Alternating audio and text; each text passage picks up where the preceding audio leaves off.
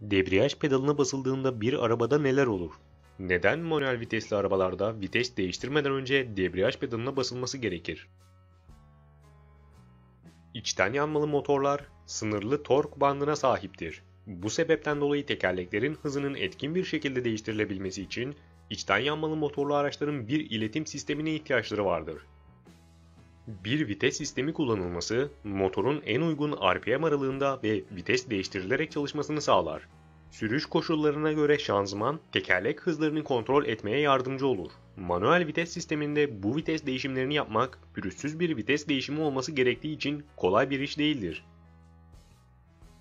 Vites sistemi motordan alınan dönme gücünü tekerleklere iletmelidir. Buna ek olarak doğrudan tekerleklere gitmeden önce diferansiyele uğrar. Vites sistemi aracın hareket edebilmesi için gerekli tork değerinin iletilmesini sağlar. Ancak bu vites değişimi için motoru kapatmak hiç pratik değildir. Bu mümkün bile değildir. Debriyaj bu amaçla kullanılır. Debriyaj ya da kavrama, motoru kapatmadan şanzımandaki güç akışını kesmek için bir mekanizmadır. Şimdi nasıl çalıştığını inceleyelim. Debriyajın ana kısmı her iki tarafı yüksek sürtünmeli malzeme ile kaplanmış bir diskten oluşur. Bu disk volan üzerinde durmaktadır. Volan büyük silindirik bir dişlidir. Krank miline bağlıdır ve krankın hareketiyle doğrudan döner. Debriyaj diskine karşı bir dış kuvvet olduğunda debriyaj diski de sürtünme kuvveti nedeniyle volan ile birlikte dönecektir. Şanzımanın giriş mili de bu diske bağlanır. Böylece diske dışarıdan gelen bir kuvvet uygulandığında motor gücü iletim sistemine iletilebilir. Bu dışarıdan gelen kuvvet bir baskı plakası tarafından sağlanır.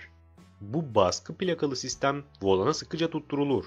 Böylece baskı plakası sürtünmeli debriyaj diskinin diğer yüzüne sıkıca basacak ve motor gücü iletim sistemine iletilecektir. Normal sürüşte durum böyledir. Ayrılmayı sağlamak için baskı plakasına özel bir tür yay yerleştirilir. Bu yay diyafram yayıdır.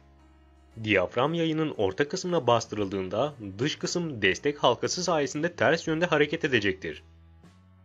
Diyafram yayının dış kısmı baskı diskine bağlıdır. Baskı diski kapağın arka tarafındadır. Eğer iç kısma basılırsa baskı diski yüksek sürtünmeli yüzeyi olan diskten uzaklaşacak ve böylece güç akışı kesilecektir. Sürtünmeden dolayı sıkıca tutuş olduğunda motordan gelen güç iletilir.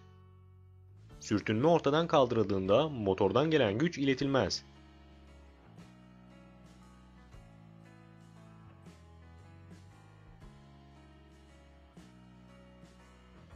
Debriyaj pedalına basıldığında bir hidrolik sistem debriyaj hareketini diyafram yayının merkezine aktarır.